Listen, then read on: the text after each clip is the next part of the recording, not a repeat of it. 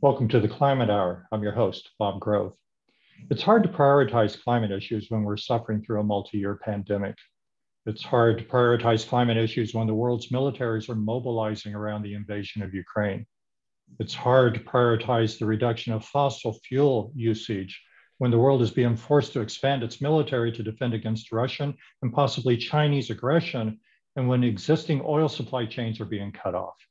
But it's important to remember that while the pandemic can last several years and force us to learn new ways to interact, and the Ukrainian war can last for months, followed by years of sanction and political realignments, it's important to remember that humanity will be suffering the ravages of climate change for thousands of years, for millennium. Conventional war and pandemic pale in comparison to the damage and loss of life that will result from not stopping climate change. So, even in the midst of the latest COVID surges and the horrific war in Ukraine, we all need to take a moment and remember the climate crisis. And there's no better time to do that than on Earth Day. Earth Day began in 1969 when a US senator proposed the idea of holding a nationwide environmental teach in. A year later, on April 22nd, more than 20 million people took to the streets. And this first Earth Day still remains the largest single day protest in human history. That was over 50 years ago. Today, Earth Day events are celebrated in over 140 countries. In the heart of the Midwest, Kansas City's 2022 Earth Festival is typical of today's Earth events, trying to move past the pandemic, but still wary of the COVID surges throughout Europe and Asia. EarthFest 22 is being produced as a hybrid event, simultaneously online and in person at Unity Temple on the Plaza. This will allow those that are ready for in-person contact, contact to meet at Unity and those who prefer to remain at home to attend virtually. EF22 is Saturday, April 23rd, and is free with registration. The festival includes a climate fair, art exhibit, a tree giveaway, speaker presentations, and a film festival. We're joined today on Zoom by festival organizers, Victor Dougherty, director of the Temple Buddhist Center, Stephen Melton, leader of Citizens Climate Lobby, KC, Ira Harritt with the Greater Kansas City Interfaith Council and the Environmental and Social Justice Committee, Keith Mundy, ELCA Central State Senate and Lutherans Restoring Creation Team, Jim McGraw with the Unity Temple Green Team, Patricia Williams, President of Cinema KC, and filmmakers Stacey Rhymes and David Wayne Reed. Hi, everyone. Hi, Bob. So Victor, let's start with you. Unity and Temple Buddhist Center. They've participated in previous Earth festivals, but I think this is the first year you physically hosted the event. What made you decide to er, host this Earth Festival, and why do you think it's important? So, probably now more than ever, Bob, I think that people are coming out of the pandemic, out of isolation. And so, this is an opportunity now for people to join, of course, still virtually because we have so many joining from, from out of state but to start coming together physically and connecting with each other around environmental issues, sustainability, and the arts, and of course also around spiritual and faith-based um, you know, scenarios. So people are are longing for connection again, and uh, one of the most important ways they can connect is around environmental issues and climate change. I, I, know you, you mentioned people coming together, and I, I know within the Kansas City community, there, there's, yeah. and within communities nationwide, worldwide, people are anxious to get out and, and gather again. So I, I think the, the organizers of EF22 wanted to give the local people a chance to have that, hence, you know, hosting at Unity. At the same time, as you mentioned, there's been a, a large virtual audience. I, I know the Earth Festivals the previous two years were strictly online because of COVID. And they drew attendance from you know across the nation, 50 states, five different countries. So there is a large virtual audience that want to attend. And I'm sure the organizers don't want to give up on that audience. So even as you bring, you know, as you come back together at Unity and are able to, you know, meet face to face for the first time in a long time, you know, we still have to remember those audiences there, the people that are online or may just not be in a position to drive downtown Kansas City to participate in this. And I know that people may even feel like they're suffering from what people might call Zoom fatigue or, you know, just tired of being on the screens.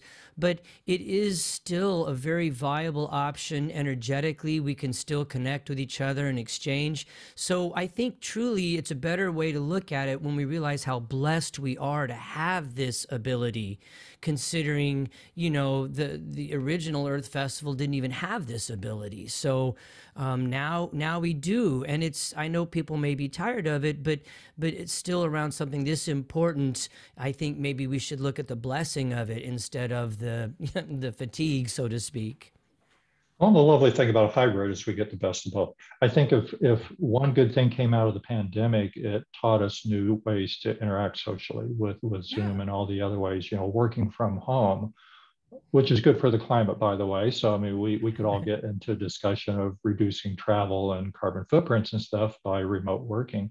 But the fact that we can gather live virtually, I mean, everybody has that technology now. That that was kind of um, fancy stuff back at the beginning of the pandemic, but now that's normal. You know, grandma gets on yeah. line with grandkids. Ease of use. Ease of use and accessibility and no cost. Um, so the, the, fact that we have people live in Unity and talking to a live audience, that that is simultaneously going out as a webinar, and we're taking questions not only from that in-person audience, but the people virtually online in the webinar can post their question. Those questions also go back to the panelists real time. Yeah. Yeah, yeah, that's that's that's excellent, and we're we're blessed to be able to do that. So, what's interesting is here we are talking about Earth Day at the same time we're becoming more globally connected. you know, it's, it's not just little villages and townships spread out never to meet each other. Now we can connect with people all over the Earth that we all want to love and celebrate so much.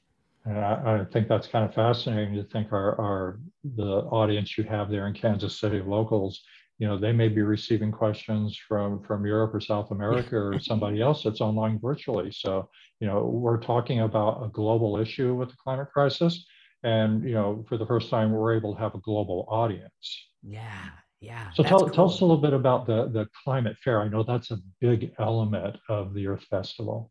Yeah, and what's this is really a unique um, event in that where else can you go to find so many organizations that are looking to connect with people to to develop volunteer programs, to get ideas, to get feedback and input.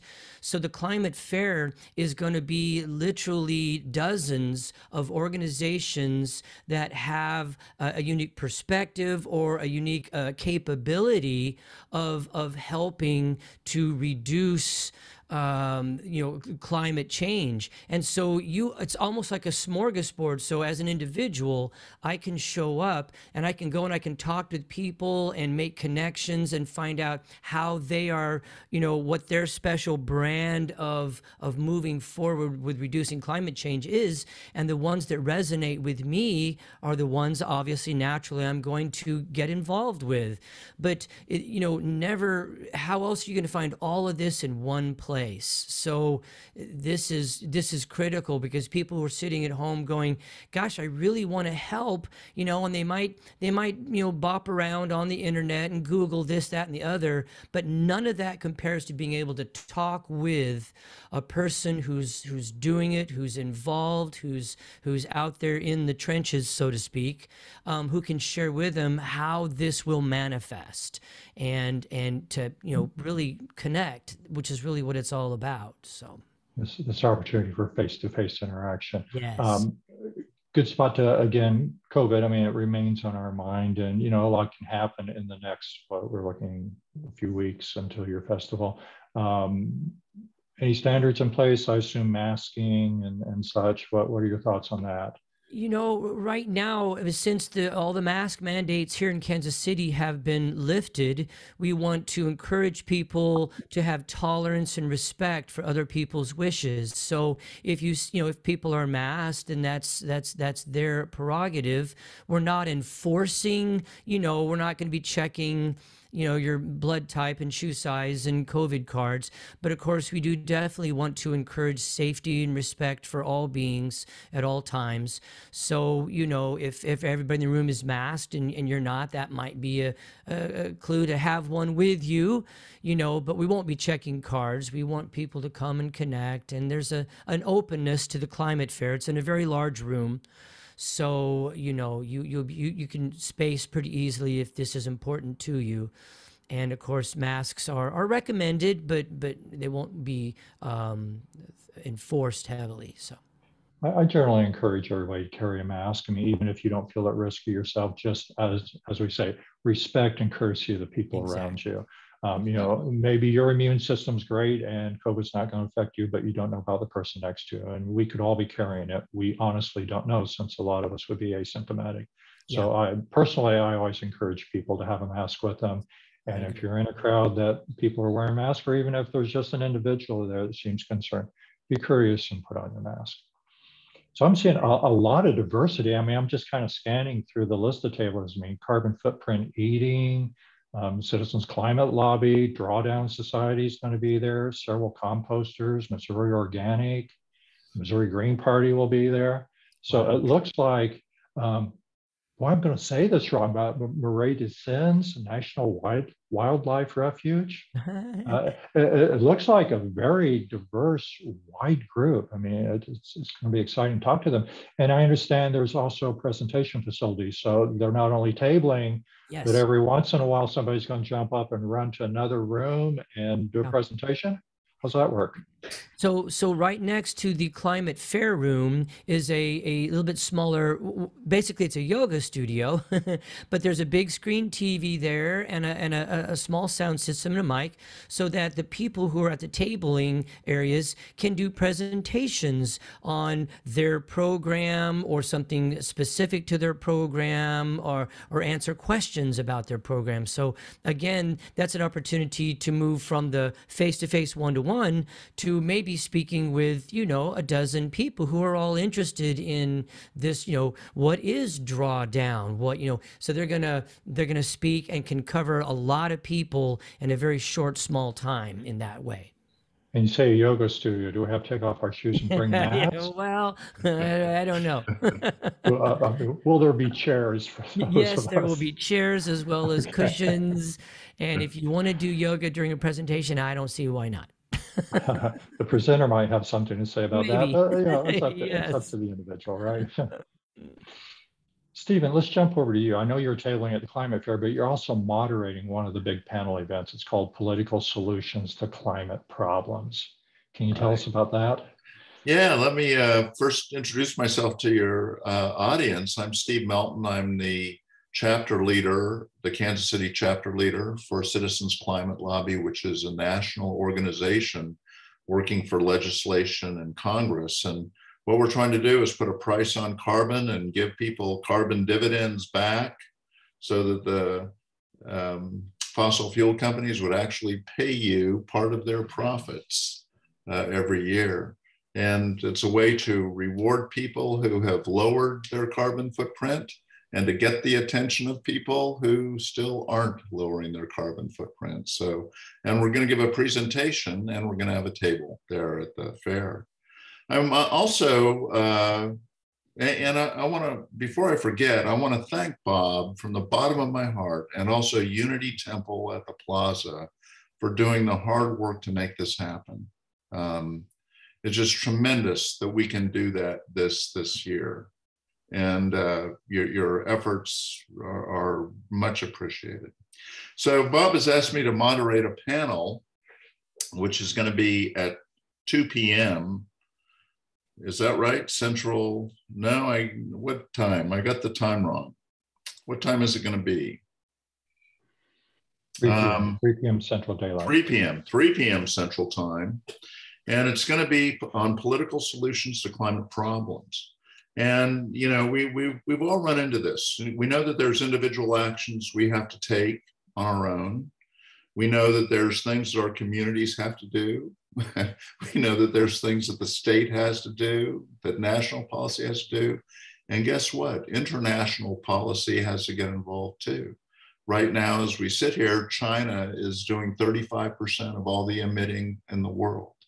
That's more than the United States and the European Union combined. So we need to think of solutions which are going to draw China into solving this problem as well.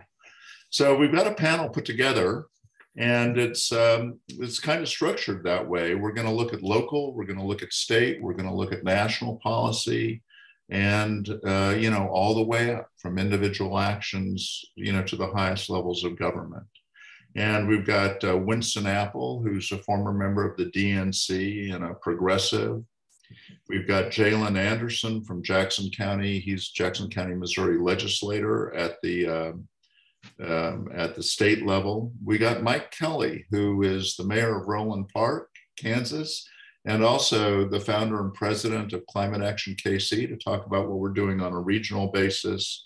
And then we also got Nathan Klein, who's uh, from the Green Party of Kansas City, Missouri, to talk about their agenda. And we're going to have a, a nice seminar um, discussion beginning at three o'clock Central Standard Time. And um, it will be simulcast and it'll be a webinar so people who are not there physically can participate and ask questions. And we're going to discuss all these political solutions in a discussion format. So i think it's going to be a great great time very worthwhile and bob thanks for uh, thanks for thinking of it and thanks for inviting me to moderate it sounds like uh, you're, you've got representatives from a lot of different parties. I mean, I heard the Greens, Progressive, Dems, so on and so forth. So different, perhaps different um, climate solutions being offered. Do you think there is a chance for a common solution? Do you, do you, you think that there can be a consensus reached on how we all work together and pull toward this? Or you think it's going to be a fight fest? Well, we'll see. I, I, I, think it's going to be a bit of both. And, and I think it's going to be, there's going to be a lot of agreement on some things, but there's going to be a lot of differences as well. Um, and, and we can explore those during, during the, uh, during the discussion. I, I think we will agree on more than we disagree. And, and I would say that because the problem is so urgent. You know, we can't let our perfect solution be an enemy to the good solution that most people will agree on implementing. So, uh, you, you, know, from what I read, uh, by 2050, it's going to be start getting bad on the planet. It isn't like we got till 2100 to fix this. You know, we have got to fix it now because by 2050, when my grandchildren are 30 years old, they will be living with dire effects caused by climate change if we don't do something about this. So we need to do something about it. That's that's the bottom line, and um, I, I, think we can come to a great degree of consensus. Well, that'd be great. Um, so obviously, the, the, these different political philosophies coming together, and the opportunity for not only the in-person audience members to ask questions, but also the people who are virtually online in the webinars to post their Q and A and have those questions actually delivered to the panel members to answer live. Right, and we'll give it to the responsible panel members. And um, you know, uh, we don't have anybody who's really from you know the conservative, the right wing of the Republican Party, who's on the panel. Those people are very hard to get to participate in a panel on climate change. Uh, some of them are climate deniers, or some of them, for political reasons, for careerist reasons in the Republican Party, are just laying low because you know they really can't discuss this honestly. Uh, but we could probably get some good discussion from participants, from um, you know who are in on the webinar, who are asking questions, uh, and that we can answer their questions honestly and uh, forthrightly along those lines, I mean, I know on this show on the climate hour, I, I have had Republicans um, on air, and you know they're out there fighting climate change like the rest of us. I hear what you're saying about they're a little rare and harder mm-hmm. to get hold of, but they are there, and their point of view is important. And you know, we hope they'll they'll participate either online or whatever way they want. You know, it'd be it'd be lovely to have that party represented on the panel so maybe somebody will reach out to us between now and the festival. So well, wouldn't that be great? And and you know, it's it's always true of human beings that they want to be heard before they'll listen to what anybody else has to say. So, you know, everybody That's- wants that's to get out their two cents worth. Uh, you know, and then once they once they get it out there, then they're more willing to listen to what other people have to say. So, you know, that we we should always respect people's opinions, even if. Absolutely, absolutely. So let's jump to something we can all agree with. Trees are good. Um, Jim, I think this is the second year you've hosted a tree giveaway. And, you know, we all know that planting trees in our yard is one of the easiest ways to fight climate change. I mean, it sequesters carbon, it pulls it out of the air. What's better than that? So what kind of trees are you giving away and how do people get them? Yes, uh, the trees that are going to be given away are swamp white oak, which are a native tree, great shade tree, very resilient. And then the second type of tree are uh, red buds, which in the next couple of weeks, we're going to see the beautiful purple magenta blossoms. So uh, we're doing this in partnership with Heartland Tree Alliance, who is part of Bridging the Gap. And they've worked with us for years, providing us with saplings, approximately one to two feet in length, fully packaged, directions on the trees. So they're easy to plant and easy to maintain.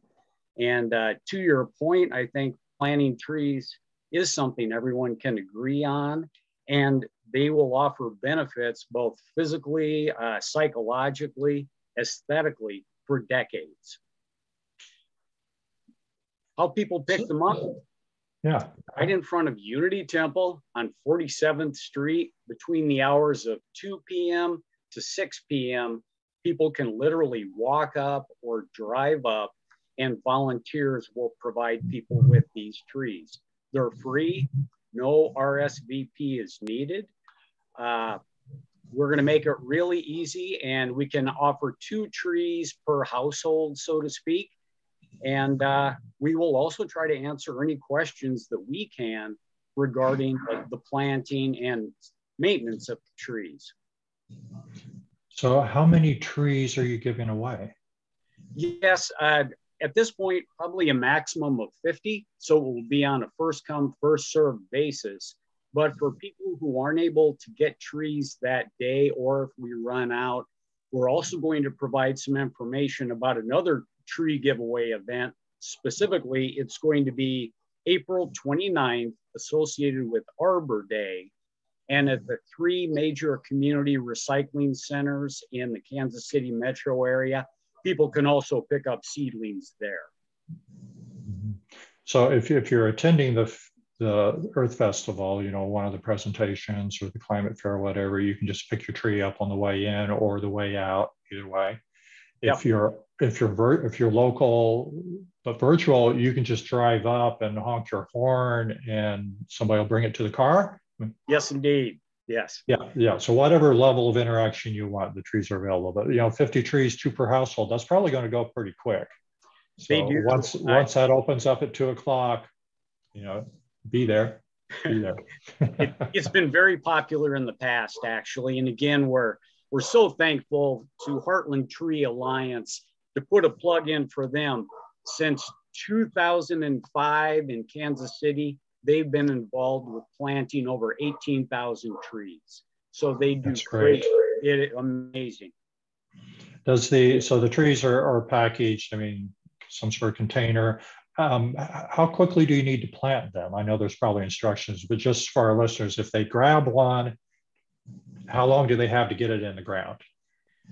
Definitely so. Probably the quicker the better, but they're Sure. packaged in such a way, they're called bare root saplings, such that if there would be a cold spell and you don't want to put them in the ground immediately, they would, would be good for about a half a week or so.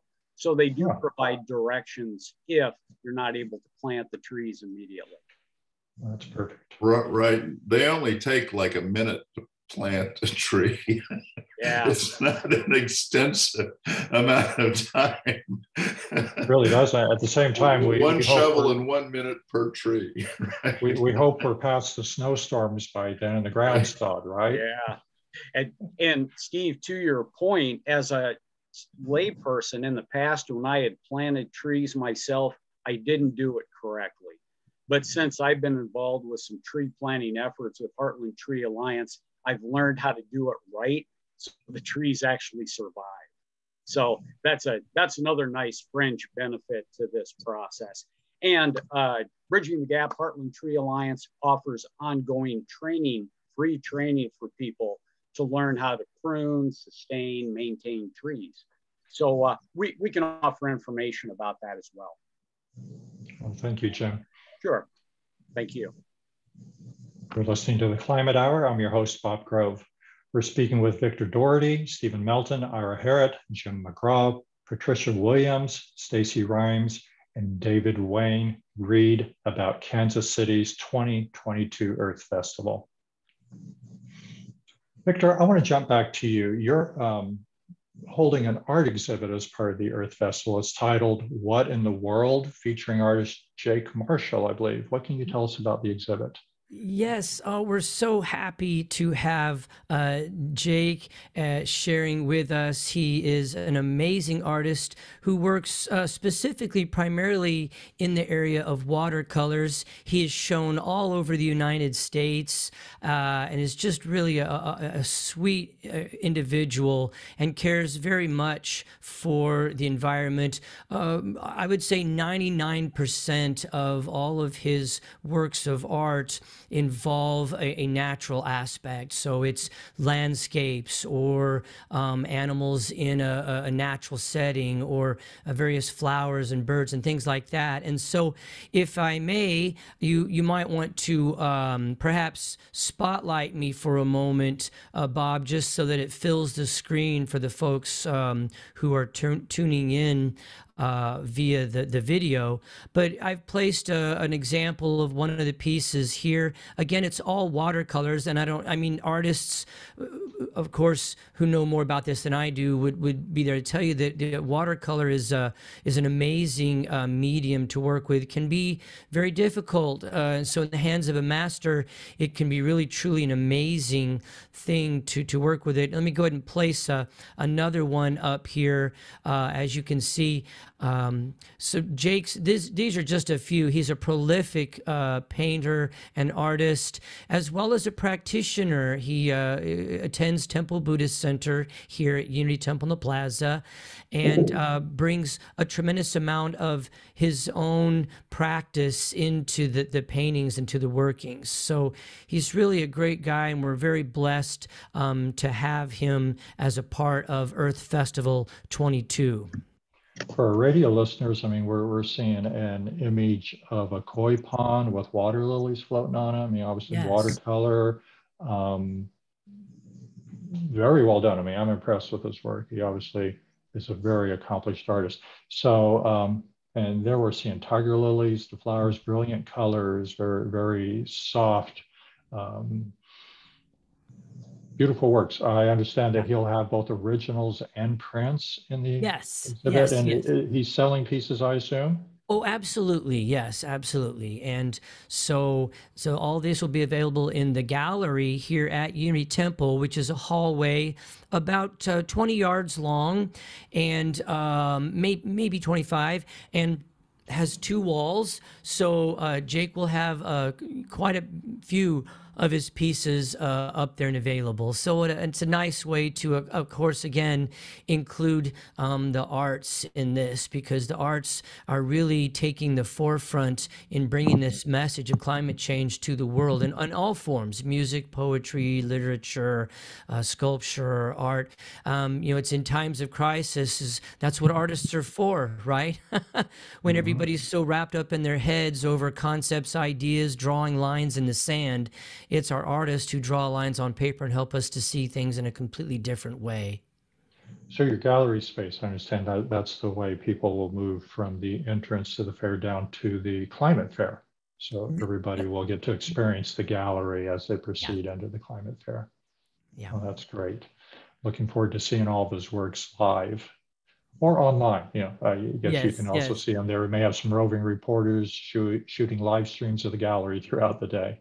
Yeah, and I'm I'm I'm hoping Jake will be here too to talk with people about his process. That would be neat. Well, that would be lovely. That would be wonderful. Um, Ira, let's talk about your event. The Greater Kansas City Interfaith Council is producing this event called Faith Communities Responding to the Climate Crisis. You know, what led um, the Interfaith Council to want to do an Earth Day event? Ira, you're So- muted. There so- you go. Sorry, got it. Sorry. Um, well, the Interfaith Council's primary goal eh, or, or purpose in um, being is to uh, help individuals uh, better understand the diversity of faiths that we have in our community and more than just sort of tolerate uh, to actually recognize the value and, and, and seek to understand each other better.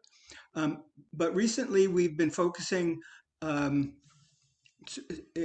sharing our faith uh, journeys and what our faith motivates us to do in the community. And one of the things that we recognized is is that in almost every faith there is some some deep um, uh, teaching that speaks to taking care of the earth, to being responsible for creation, for stewardship.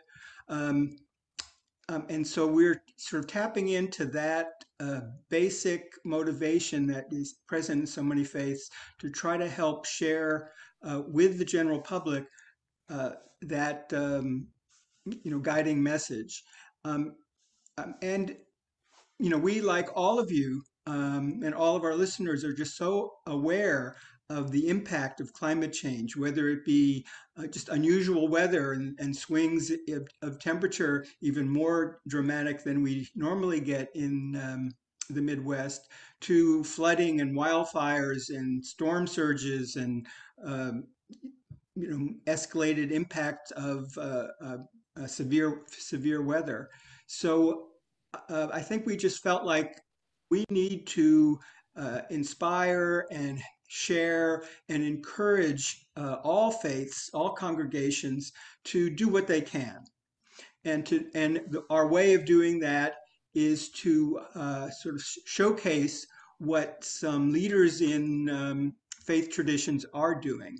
And so we're holding this event um, and uh, gathering uh, um, uh, speakers from different faith traditions to share what they're doing, whether it's you know, recycling and uh, energy conservation to fighting um, the destruction of uh, forests and, um, um, uh, and, and, you know and, and, impacting climate change in that way, advocacy, uh, etc.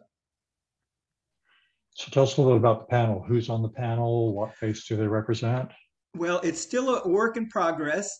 Um, we do have, um, uh, in addition to uh, uh, uh, Keith Mundy, who will be speaking and is, is, is here with us uh, today, we have um, Dr. Ken Sonnenschein, who is one of the leaders of the Mitzvah Garden. So there's lots of different ways that people and congregations can can uh, respond to to um, climate change. And so what they've done is they've created a sustainable local garden, reducing the transportation, uh, energy uh, consumption of produce brought in from far away.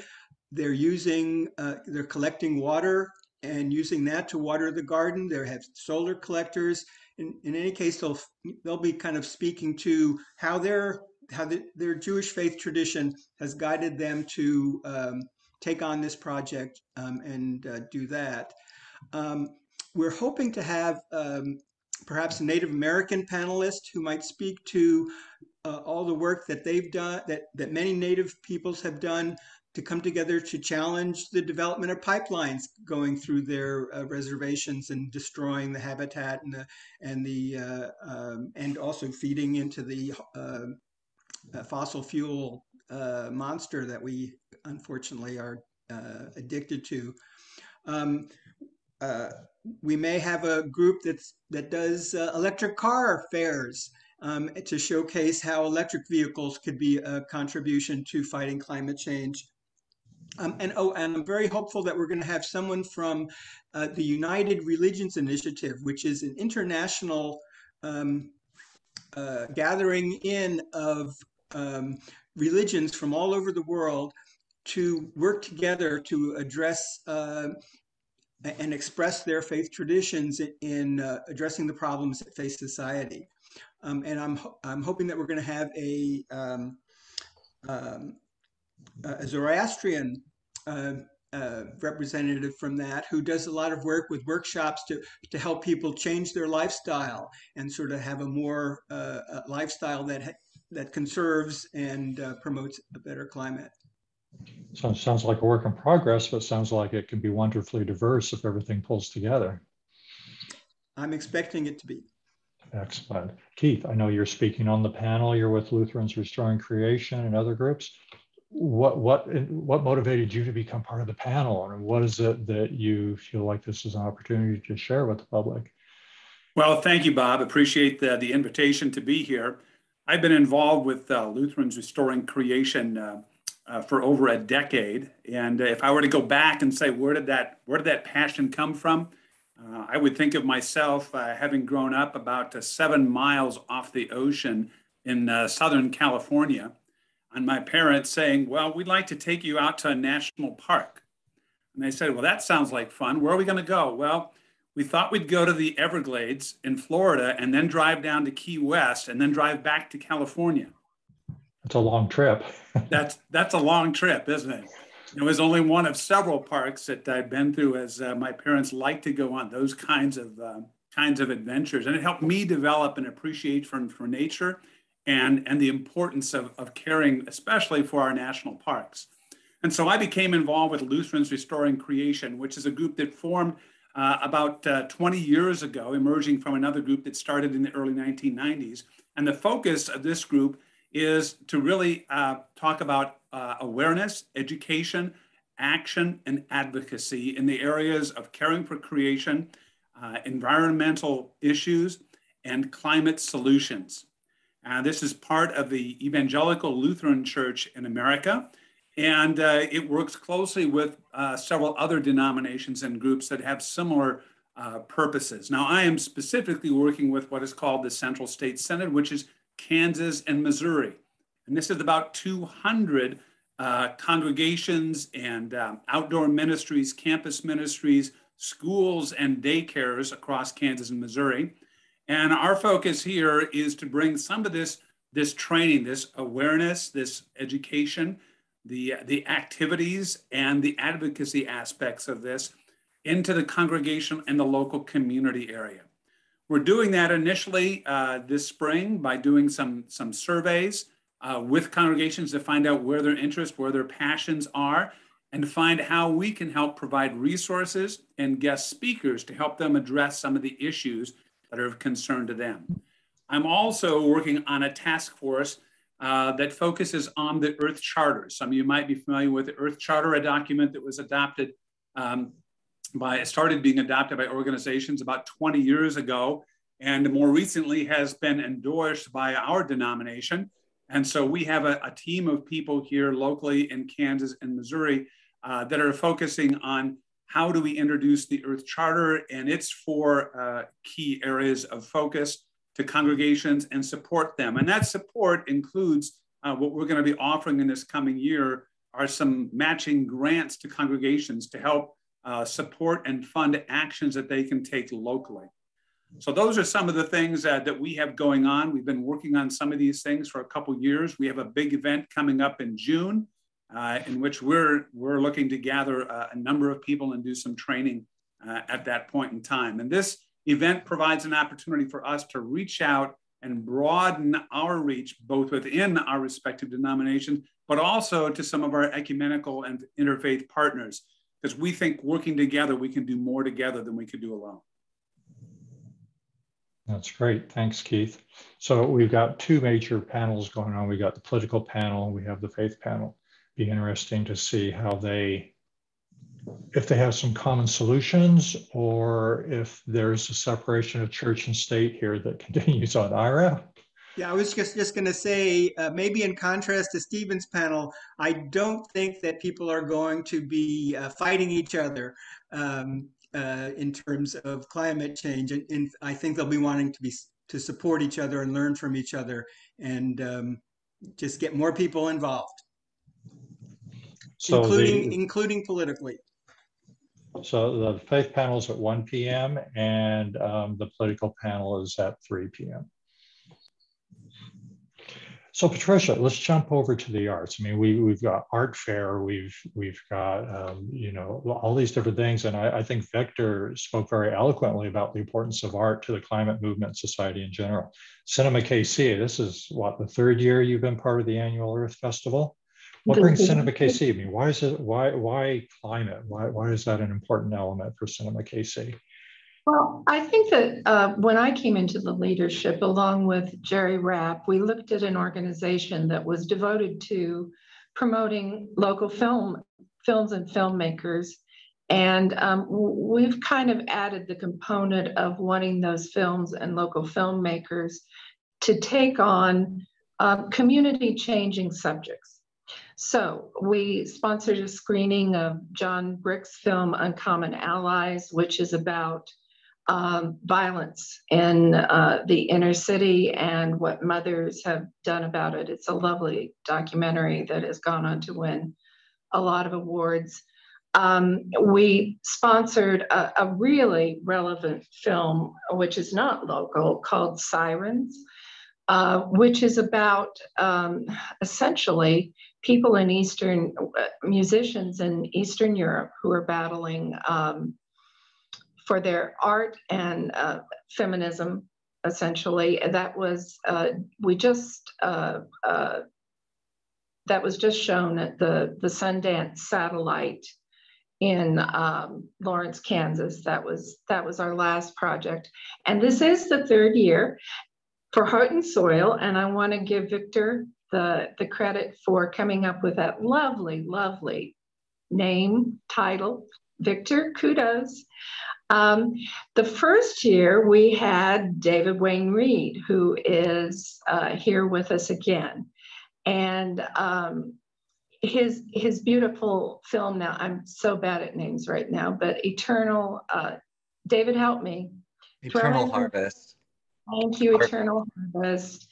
Um, it, it dealt with something that's near and dear to my heart, which is the, the tall grass prairie and natural prairies because all of this is very personal. I think probably to all of us, but to me, I came out of parents who um, were out of the Depression and a mother who uh, had homesteaded and the Dust Bowl destroyed the prairies and uh, you know it was it was a horrible event and then I grew up because of that with parents who were nutty about organic farming and things that people just thought were insane at the time.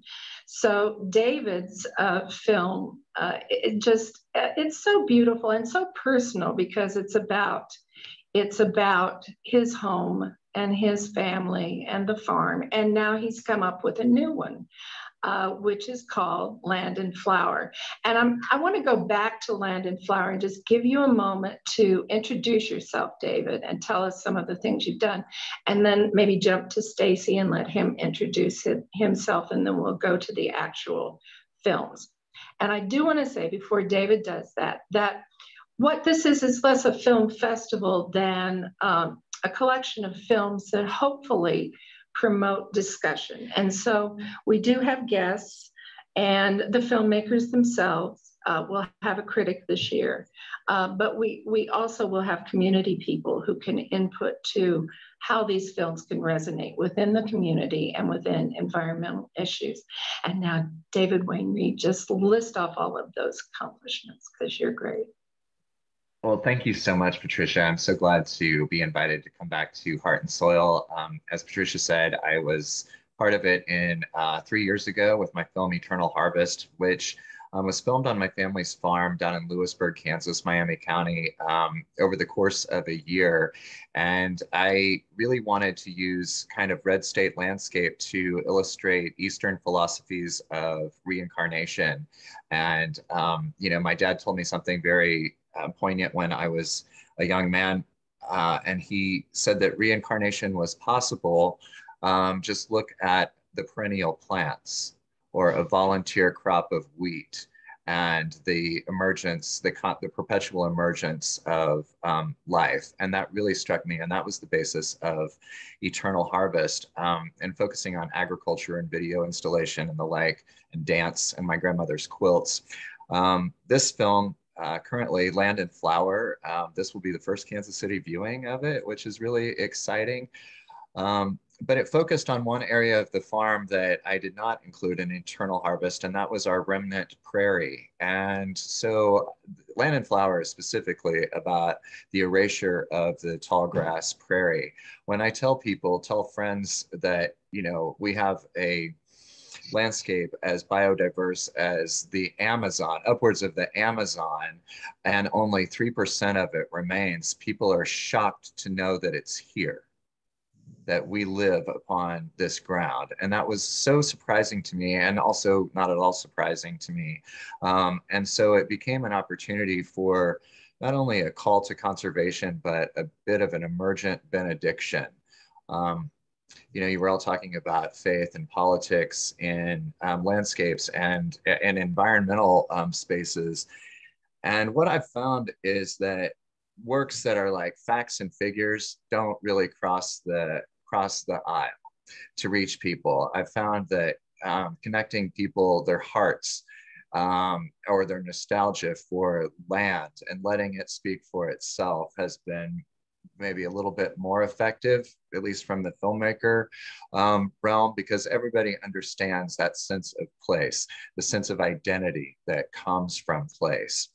Um, with Land and Flower, I don't have any humans in it. Uh, it's based off of a poem that I commissioned of Megan Kaminski.